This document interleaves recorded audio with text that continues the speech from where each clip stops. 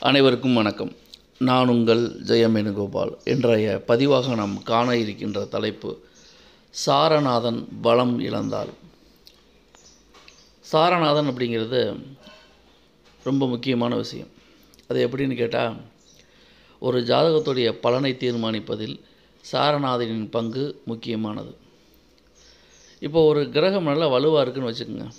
ஆனால் அந்த கிரகம் வாங்கிய சாரநாதன் கெட்டு போயிட்டாருன்னா இந்த ஜாதகத்துக்கு எப்படி நன்மைன்னு சொல்கிறதா அல்லது தீமைன்னு சொல்கிறதா ஏன்னா கிரகம் வந்து பலமாக இருக்குது சாரம் கெட்டு போச்சு.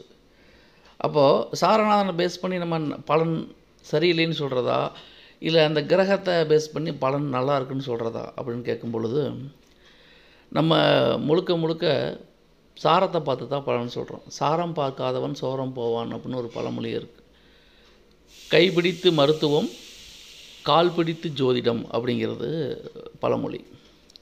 கால் அப்படிங்கிறது சாரத்தை குறிக்கும். இப்போது எப்பொழுதுமே ஒரு கிரகம் வந்து பலமாக இருந்தாலும் அந்த கிரகம் வாங்கிய சாரத்தின் அடிப்படையில் தான் ஜாதகருக்கு பலன்கள் பெரும்பாலும் சிறப்பாக நடவேகும் அப்போ நம்ம என்ன கவனிக்கணும் ஃபஸ்ட்டு அந்த சாரநாதன் எப்படி இருக்கார் அப்படின்னு பார்க்கணும். சாரநாதன் கெட்டு போயிட்டாருன்னா பலன்கள் வந்து பெரு பெருசாக நடக்காது. நன்மையான பலன்களோ கடுமையான பலன்களோ சிறப்பாக நடக்காது. அப்போ சாரநாதன் ரொம்ப முக்கியம். இப்போ சாரநாதன் வலுவாக இருந்தால் சூப்பரான பலன் கண்ணை மூட்டு சொல்லிடலாம். சாரநாதன் கெட்டு போய்விட்டால் என்ன பண்ணுவது? அப்போ பலன்களில் எப்படி சொல்வது அப்படின்னா கண்டிப்பாக என்ன தான் ஒரு கிரகம் நல்ல உச்ச கிரகமாக இருந்தாலும் அந்த கிரகம் வாங்கிய சாரநாதன் கெட்டு போய்விட்டால் உச்சத்தன்மையோட பலன் வீரியம் வந்து குறைஞ்சு போயிடும் அப்படிங்கிறத நம்ம மனசில் வச்சுக்கணும். அப்போ சாரம் அப்படிங்கிறது ரொம்ப முக்கியம். சாரநாதன் கெட்டு போய் விட்டார் அப்படின்னா அது என்ன ஆதிபத்தியமோ அந்த காலகட்டத்தில் கிடைக்கக்கூடிய விஷயங்கள் ஜாதகருக்கு நன்மையான பலன்களை தராது.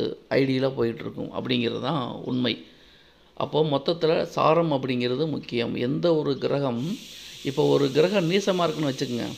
நீசமாக இருக்குது அப்போ அந்த கிரகம் தரக்கூடிய பழங்கள் கம்மியாக இருக்குன்னு நம்ம சொன்னால் கூட அந்த கிரகம் வாங்கிய சாரநாதன் வலுவாக இருந்தால் பலன்கள் சற்று கூடுதலாக நடக்கும் அப்படிங்கிறத நம்ம கவனிக்கணும். சாரம்ங்கிறது ரொம்ப முக்கியம்.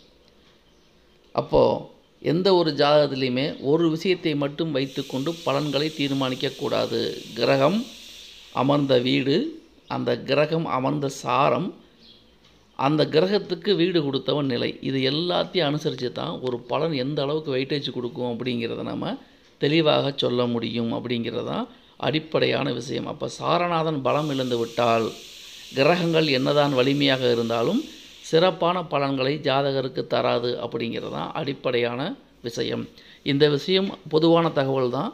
தனிப்பட்ட ஜாதகத்தை பொறுத்து வேறுபாடுகளும் மாறுபாடுகளும் உண்டு அப்படிங்கிற அடிப்படை கூற்றை நாம் மறந்துவிடக்கூடாது நன்றி நேயர்களை மீண்டும் அடுத்த பதிவில் வேறொரு தலைப்பில் சந்திக்கிறேன். நன்றி வணக்கம்.